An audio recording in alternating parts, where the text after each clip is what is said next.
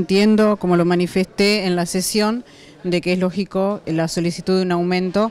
pero en mi caso lo que hice fue analizar, digamos, lo que realmente afecta al usuario, que es la calidad del servicio, con lo cual la empresa no ha cumplido, inclusive nunca ha cumplido con el marco acuerdo